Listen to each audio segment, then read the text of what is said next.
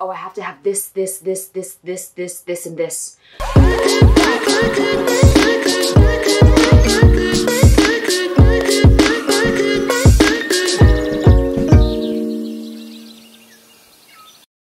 Just having my usual favorite chicken skin baked at 350 degrees for 30 minutes. I love it. Lunchtime!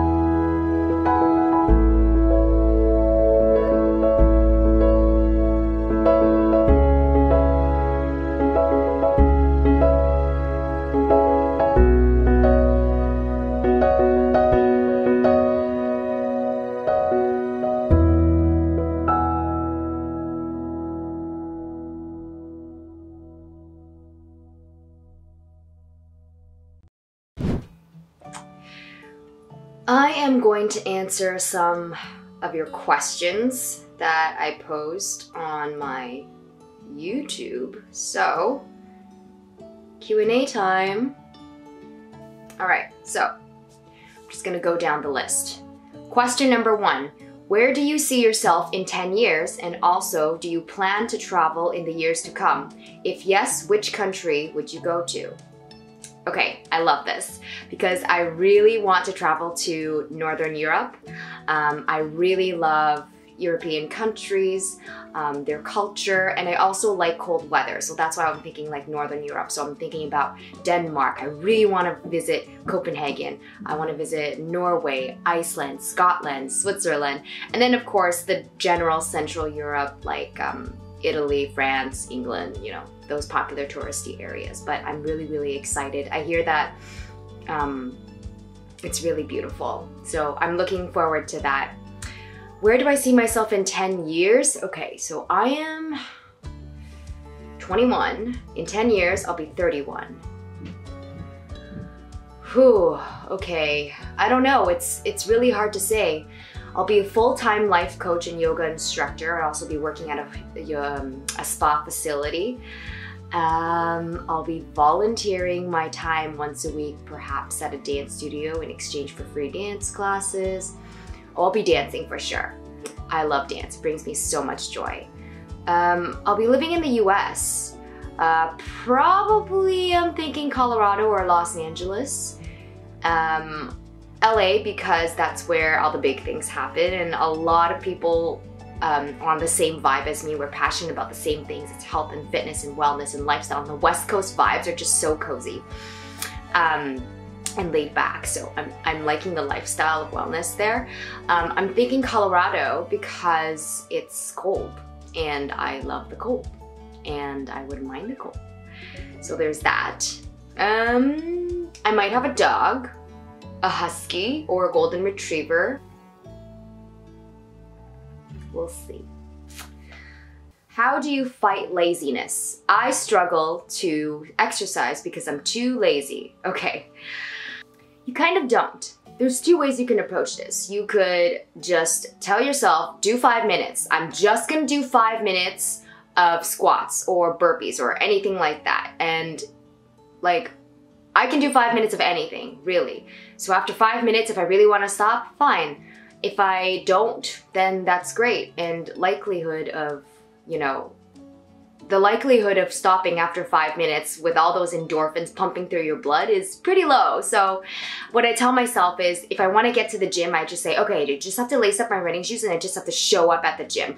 I don't care if I don't do anything. If anything at all, I just show up at the gym. That is the start of a healthy habit. So just keep doing that and then you start to build in like okay maybe I'll I'll go on the treadmill for 5 minutes and then 10 minutes and it just it just keeps going. Another thing you can do is there's you have to be graceful when you are not feeling motivated, right? There's there's probably a reason that you're not feeling motivated. Maybe it's low moods, low energy, um, something happened earlier that day.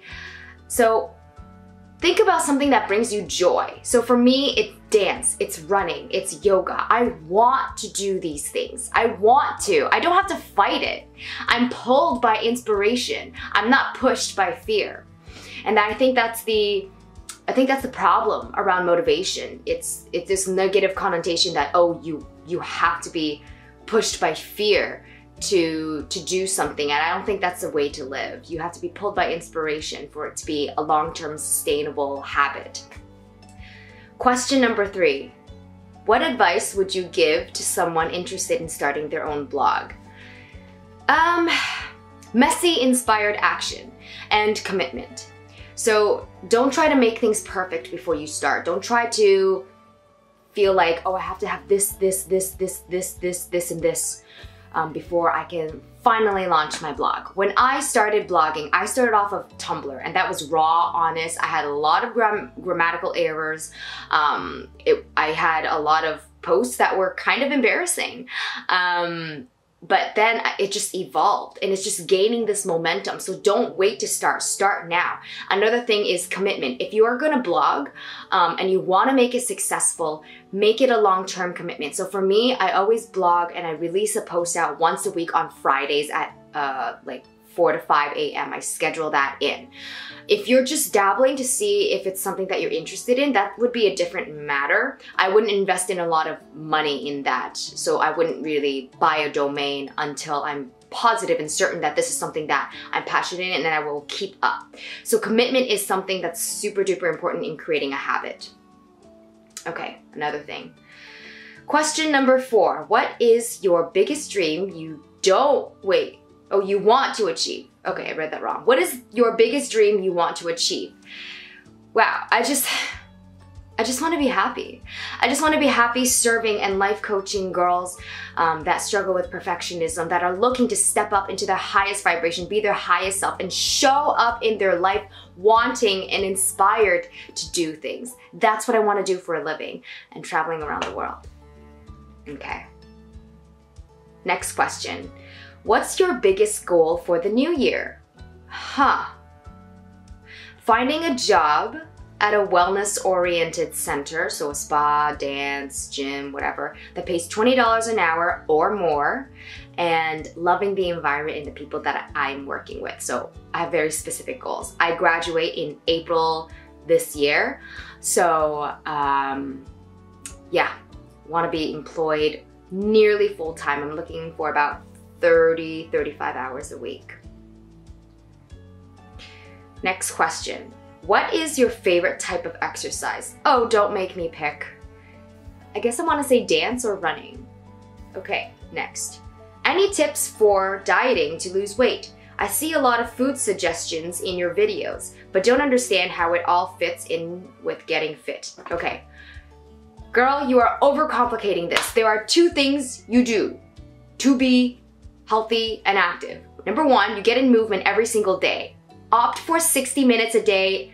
If anything, try to get more than that, but minimum 60 minutes. So you can do walking, running, dancing, whatever it is that makes you happy, okay? Something that gets your heart rate into that middle fat burning zone. And for you, that would be different. So it would, uh, depending on, depending on your age, it's 220 minus your age. And then you would times that by, what is it, like 60 60% to 80%. That would be your heart rate range. Um, just something that gets you, you know, sweating a little bit. It's a little bit hard to talk, but it's not super duper impossible. So do that. And the second thing is just eat wholesome foods, foods that are grown, foods that are not processed, right? Like every you know what to do. I'm sure you know what to do, right? Like eat green, eat plants, eat animal products, um, not this, not eating these like, you know, not buying fast food, not buying uh, salad dressings, not buying these prepackaged Pop Tarts. You know what to do, okay? Um, you just have to do it. You're don't overcomplicate it. It's very, it's very simple, simple terms. Eat wholesome foods, and get an activity, some sort of physical exercise every single day. That's all. That's all it is, okay? So, um, if you have any more questions, let me know in the description below and uh, I will be happy to answer them in the next Q&A video. For now, I am going back to doing my homework. This was a nice break. I'll see you guys the next clip.